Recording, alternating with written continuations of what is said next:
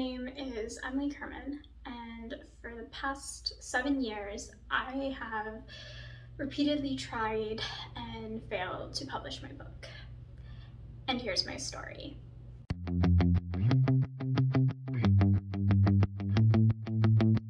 So, where do I even begin? Well, first, let me talk a little bit about publishing industry if you're not familiar with it. So, there's really two main routes you can take to publish your book. Well, technically three, and we'll talk about that third option in a bit. But the two main legitimate routes of publishing your book are traditional publishing and self-publishing. So traditional publishing is when um, you get um, a deal with a traditional press. They'll pay you in advance and then um, sometimes you can get royalties, sometimes you will not, depending on your contract. Um, and also, for those who don't know, royalties are pretty much uh, profits that the book makes, um, or a certain percentage of the profits of the book. And then there's self-publishing. And self-publishing is when is a newer form, though it's been around technically since publishing itself has been. Um, and but it's become more prominent in recent years. So for self-publishing, basically you uh, do the entire publishing process yourself. You edit your book, you do your own cover design, uh, or you hire someone to do those things, and then um, you publish them. Either the two main publishing, self-publishing platforms are uh, Amazon, and the other one is Ingram Spark. Uh, and Amazon is free, Ingram Spark costs a little bit of money. We'll talk more about that in a sec. So those are your two main routes that you go into. Now there is a third option. Um, those are called vanity presses, and those are scams. we'll, we'll, talk more about them and uh, my history with them but pretty much you it's like a traditional publisher but you have to pay them up front and also the thing with a traditional press though is that either um, you don't have to pay a single penny or they pay you which is called an advance. Well in vanity presses you pay the vanity press. So you basically have to fork out cash like you would in self-publishing. And you don't get full royalties and you don't even have full rights copyright, pretty much. You don't own the full copyright, usually. Some vanity presses allow you to, some don't, but. Also, they don't really do much because how they make their money is basically from authors. So they're not actually making profits from books, they're making their profit from authors. So yeah, uh, never do that. So I wrote uh, my book uh, with my writing partner, Grace, um, when I was 15. Uh, well, we finished when I was 15. We, we wrote it when I was 14. Uh, I guess she was technically 15. Uh, we finished towards the end of our freshman year and um, after we finished it, like we completed the book, our first draft, uh, we knew we wanted to publish it. Uh, we were very proud of it um, and we honestly thought it was a good book that could legit get published. Keep in mind this was back in 2015. Now, for those who don't remember, or uh, who choose not to remember 2015, 2015 was kind of the end of the YA dystopian era. There was a lot of books and movies coming out still at this point, um, though that was kind of dying down um, about YA dystopian books and um, you know, the Hunger Game craze. Now, another thing that happened in 2015, um, the election was going on. We all know what happened in 2016. If you live in America, Trump was elected. That was a whole thing. Uh, but we we didn't write our book during that. We were editing our book, but we didn't write our book during that era. Um, and the reason why I bring that up is because um, really starting in 2015, but 2016 was really when a lot of this stuff started kicking off, uh, is when the industry shifted to contemporary. Now is YA contemporary books, and um, that was going on in the market of the traditional publishing. Why do I bring this up? Well, I was a 15 year old girl. Myself and my writing partner were two 15 year old girls, and and we were trying to publish a dystopian, the genre that was going out of style, and publishers weren't looking for dystopian books, especially YA dystopian books, especially especially uh, a YA dystopian book written by authors with no prior experience. Two authors, by the way, which uh, traditional publishers don't really like uh, for various reasons. And um, also uh, two minors. And there's this whole host of things with that. And so they really don't like writing, like publishing books with that. Not only that, but just because you are a minor, because you don't have the experience, there's assumptions that are made um, that your book isn't well polished, so that it would either A, take more editing, or B, isn't really original. Most people still, to this day, assume a teenage girl writing with fiction. So a lot of people kind of assume this was very fanfiction which it wasn't. I never really wrote fan fiction. My writing partner did um, when she was, but I never did. Our book wasn't really based on any properties. Yes, there were inspirations from properties, but not any more than any other normal book in the YA sphere. So when you want to be traditionally published, what you should do and what is expected is first you get an agent that's pretty much the only way you can get traditionally published. There are some exceptions. There are some smaller presses that you don't need agents, and those are called unsolicited uh, submissions. So for unsolicited submissions, you could submit directly to the publishers. However, those are usually red flags um, when that is, and I will talk about that in a sec. Um, but pretty much we were submitting to agents. Okay, so this was all being submitations. We weren't submitting to publishers directly. It's very unprofessional to do that, especially again for young first time authors. So we were submitting to a bunch of agents, looked on a bunch of stuff, you know, credited agents and all that jazz. And uh, we weren't getting anything from them. We got some really nice rejection letters, but uh, we were never even requested for a partial or a full um, and a lot of them just didn't even get back to us.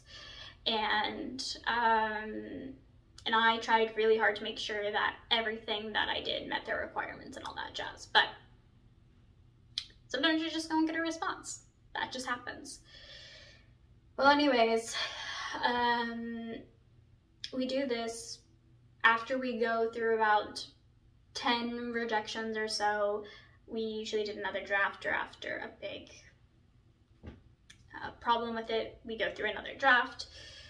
Uh, so we're editing, we're submitting, we're doing all this stuff, and um, both my writing partner and I actually end up submitting to what we thought were small presses. That's how they market themselves. And uh, we got accepted, and we were very, very excited.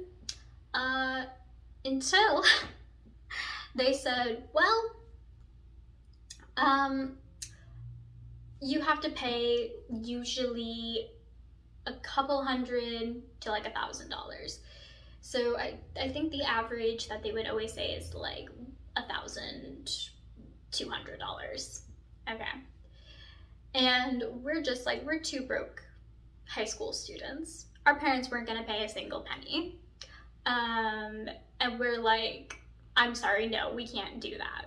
No, we I think we even made like a bargain with ourselves that we would pay a hundred dollars.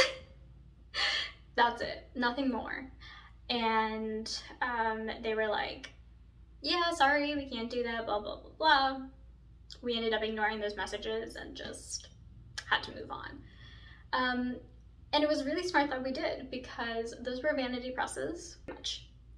Um, and we were so desperate. We almost fell for them. Luckily, though, one, I, I have to admit, this this was mostly on Grace. I think she really brought me down to earth on this because I was very I really really wanted to get this book published. I was really I felt really really strongly about it. Uh, I was almost willing to pretty much empty out my bank account for it, and um, uh, I, I was smart about it and everything. Um, but Grace was a lot more like, no, we're not gonna do this. And um, thank God for her. I, I might have honestly have been scammed um, at that point. I was still very naive about it and very desperate, um, especially because I was the one uh, sending a lot of the submissions and also took the emails harder, I think. Um, and maybe I'll talk about more about that in another video, but for now, just know that. Okay, so we're doing this. It's about a couple, it's about a year later, right? So uh, we, my writing partner, I believe, I believe she was the one who sent this one out, sent it to what I now know is a vanity press. I didn't fully realize that at the time though. But um, we were talking about it and we're like, we're not paying any money. And because at that point we had made, we, we had learned enough that we realized we should not be paying a single penny. And they're like, well, there's this competition where you can get your book published for free. And if you win, or if you get in the first two places. So we're like, freak it, let's do that. And they said, actually, we read your book. We think you guys have a really good chance of getting in and winning. So um, we did. We wait about a year, and at the end of it, uh, we get third place. I don't know how many people submitted. I don't know if there was like five submissions and we got third place. I don't know if there was only three. I don't know. But we got third place. And so we, we barely made the cutoff, but we were, the reason why it took so long was because we were in the top and we were in the top actually for quite some time which did give us some confidence, but also was like really crushing because ours was just like so close to not being published worthy. Um, in fact, it was so close that we had, there was three judges and they would rate all the books. And um, one of them even wrote, uh, rated us as number one and the other two rated us, I think, one rated us three and one rated us two. Somehow that got us in the bottom. I don't really know, but yeah, we we were actually really close, um, and it it really sucked. Uh, there was three judges, and it, it really hurt because we were very very close to finally getting our book published, winning a competition, and getting our book published. And um, and that just didn't happen. Uh, but what that did give us is we did get feedback on it. We got professional feedback on it. And when we got that, we stopped submitting and uh, we did a, huge draft. We added chapters, we did a lot of stuff. So we completely reworked it because one of our big issues was pacing and we wanted to fix our pacing. In the meantime, I was learning more about the industry. I was learning about more of why things are getting rejected and all that because, you know, at this point it's been almost two years. And uh, actually almost three years at that point by the time we, we finally got a rejection. And, uh, well, we got the results from the contest. It wasn't really a rejection. Still did pretty good. Um, but it was um it was difficult and um so we we redid a draft and we started submitting again um and we were also at this time i was looking more into self-publishing at first i didn't want to do self-publishing uh, mostly because it seemed like a lot of work. I was very, very inexperienced. Um, and I, I didn't necessarily want to go through that. I didn't want to, you know, be responsible for all of that. But as I was learning more and I was doing more and I saw that self-publishing was, you know, much more respected, it was much more popular, it was much more accessible, I seriously started committing. Uh, you know, trying to, um, I was seriously considering it. I was doing research, how much did everything cost? Figured at the time it would cost us around $3,000. Um, 3000 to 5000 is what at the time I estimated. And I talked to Ruth about it and I said, all right, here are options. I laid everything down on the table. I said, we can go back into the trenches of submissions and redo it, or we can do the self-publishing route and we can work on our author platform. And that's actually when this channel started. Uh, yeah, when I was junior in high school, I believe it was the summer of my junior year. Um, so yeah, th about three years in. And um, and we decided, okay, we're gonna try to traditionally publish it, but uh, we realized we couldn't afford it, pretty much. And that's one of the things that I really want to talk about, and that is the kind of the myth about self-publishing. Um, and it's not that self-publishing isn't valid, it's not that you can't find success with self-publishing, it's not even uh, so much that self-publishing is illegitimate in any sort of way. The, the problem with self-publishing is truly, there's, there's two main problems. One is the cost, and two is um, the lack of knowledge a lot of people have about it and the industry. So what do I mean about the cost?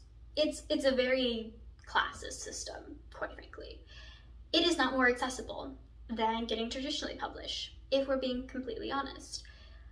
Um, yes, anyone can publish it. Anyone can publish it if they have the right amount. Well, can't you just upload it? I, you know, I saw things on Kindle Connect and you can just upload it. Um, no, it's not that simple. You can't just upload your stuff.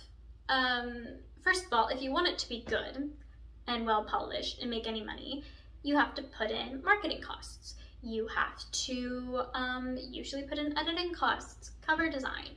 Uh, you have to, if you're doing Ingram Spark, you literally have to pay. It's cheap, it's only $45, but you have to pay that. If you want to order any books, you have to pay for those books. If, I mean, I can go on and on and on. Also with Kindle Connect, for instance, that's the free service that everyone talks about, you can only sell it on Amazon. So if you legit want to get your book out to the most amount of readers and you, you want to get out your book because you want people to read it, not because like, oh, this is just like a fun little hobby thing and I'm just going to order a couple of books for my friends and family. Even that, that's still like a cost, by the way. So there's that. But um, yeah, that sort of stuff is completely fine, you know, completely you know, accessible, you could easily do that. No question. That sort of stuff's been around forever.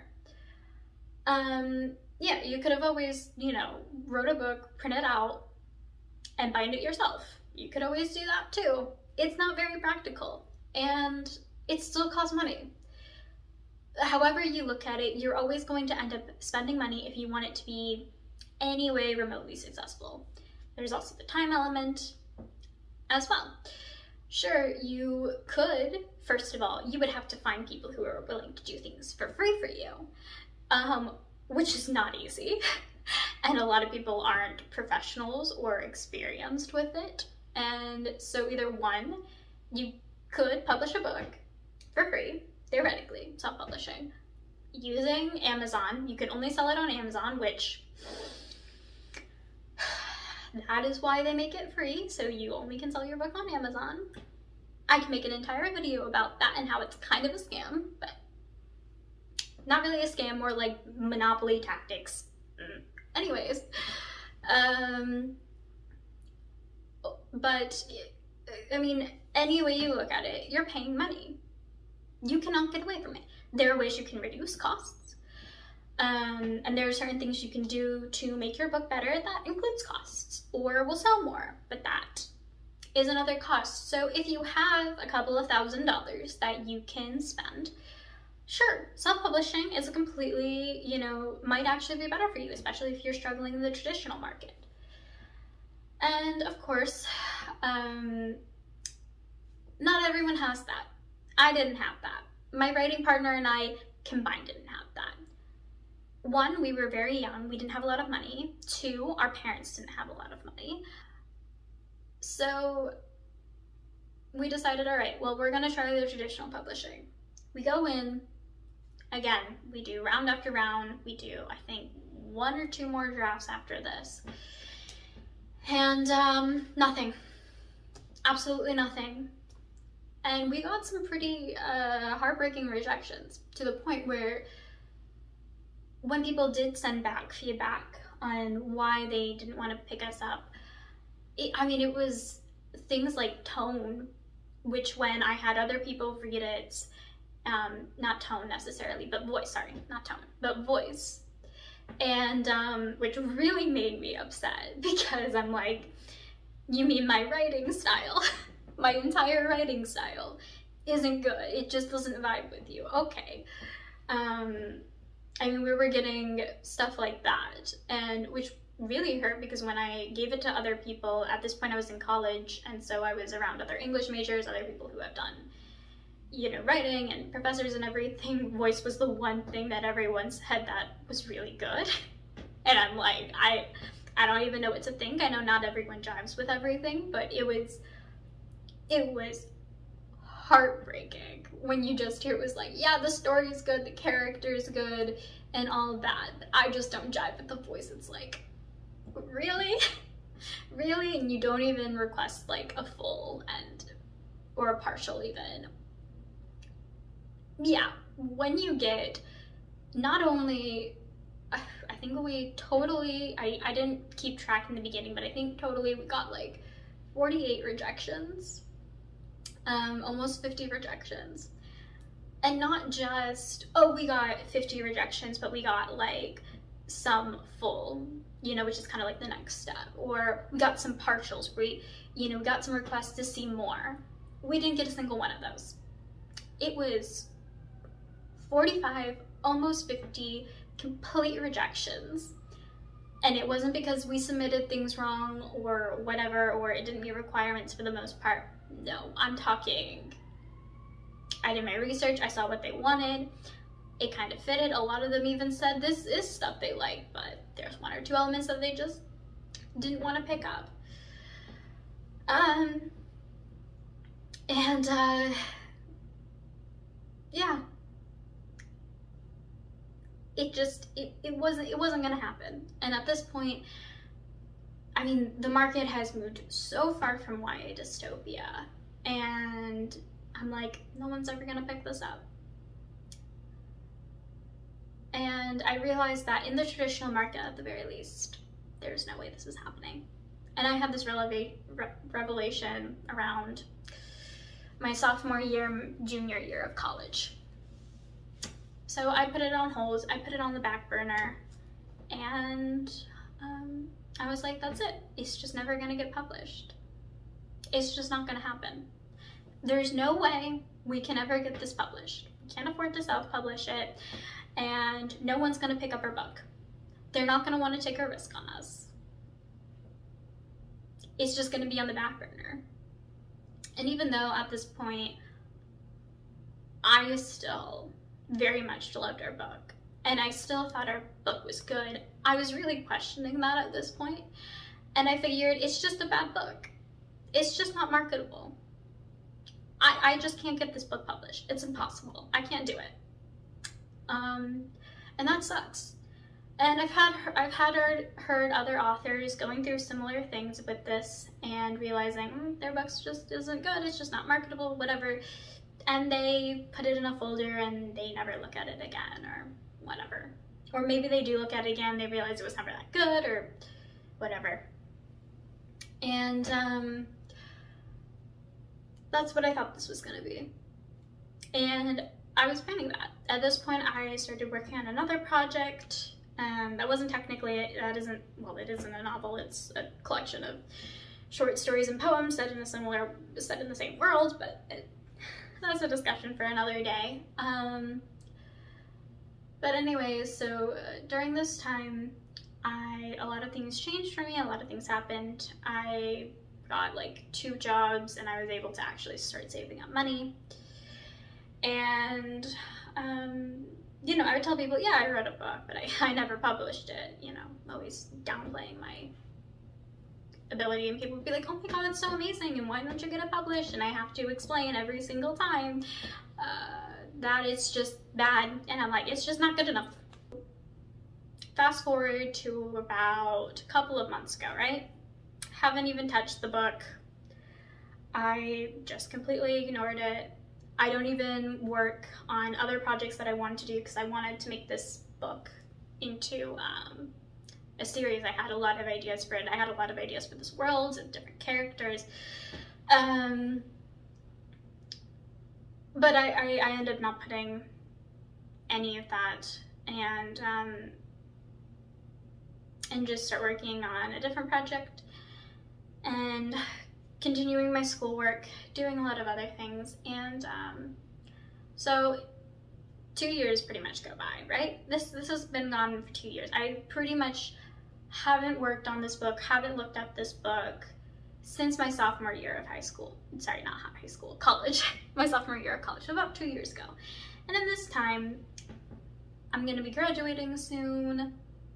You know, I'm like, all right, I know better now. I've had more experience now. I've had more education on the subject. I've read more books.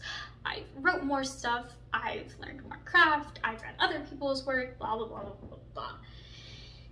And um, of course, because I'm graduating in March, I start having a crisis. Fuck, what am I gonna do? And I start really worrying about stuff. And um, and I can't sleep one night. And because I'm just so worried about the future. And um, that night, I'm meeting with some friends, and um, I tell them about my book, or maybe it wasn't that night, it was that day. But, um, and I tell them about my book, and I tell them it never got published, and basically I've explained everything I've explained to you in a actually more condensed version, but regardless. And they suggest that what if I tried a Kickstarter campaign? And I was like, I can't do that. No one's gonna wanna donate. um, and they were like, well, I would donate. And I'm sure, you know, everyone on our team would wanna donate, you know. And I was just like, I don't know. I, I'm not sure about this and also at this point, I was like, my book's just not good. It just sucks, right? And um, it's it's not good enough. It wasn't good enough to get traditionally published. Therefore, why should I even try to self-publish it, right? It's it's just not good. And um, then I go back and I can't sleep at night. And so I pull up the file of my book and I thought, you know what, I'll just read this and, you know, like cringe at how bad it was, you know, and just read it as time capsule, right? So I start reading it and um, there were, you know, some lines that weren't very, you know, well done and there were some grammatical and spelling errors and all that. And, um, but I was reading it and I fell in love with the book again. And I started crying uh, because I was like, fuck, this is actually good. Why is it still good after all this time? You know, it's it's not perfect, but it's it's still really good. And I still think people would enjoy this book because I enjoy it so much. And when a writer says they enjoy their work, you know they feel a certain way about it. And I'm not saying like it's the greatest masterpiece of all time and you know, it's a crime that it never got published or anything, but I just get really upset. And especially after I read YA, I read a lot more YA dystopia, I've read a lot of other books. I'm like, why is this so much worse than all of these? What makes this book so much worse, so unpublishable, when all these other books I've read, good and bad, do get published? I'm like, what is the thing that prevents it from from getting published? Like, what is it? Like, what is actually wrong with this? And I, I just started thinking, and I'm like, well, it's probably the market and young author. I can go on and on, two authors, again, that's a risk. And I'm like, who says I can't self-publish it? And then I'm like, well, I don't have any, really have any money. And then, um, cause I, I did have a little nest egg built up for myself. Um, but I was saving that money because student loan payments like around the exact same time I was going through all this and I was like, but I can't, but I, I don't know what to do. And um, I got really lucky pretty much. And Biden uh, signed like the reduced loan payments, pretty much like canceling some student debt. Um, and it's still bullshit, it's still not enough. Um, but what it does do is potentially take off $20,000, 10,000 to $20,000 off of my loan, which means uh, my remaining balance would be payable. I didn't really have a lot of student loans. That's a different story, but, um, and I was like, fuck, I could actually do this. I could actually spend 3000 to 5,000 potentially, you know, for a temporary time. And I was like, there's no way I'm gonna make any of this money back. I I still can't do it. And I, I tried doing, and I looked at the numbers and I was like, I, I still can't justify this. I have to assume my book is gonna make zero dollars. Freak, I have to assume that my book isn't gonna make more than maybe a couple hundred. If I'm fucking lucky and I do everything perfectly, maybe. If I'm lucky, I can make $100, not including any of the expenses, just, you know, like, I, I should not expect making a lot of money from this.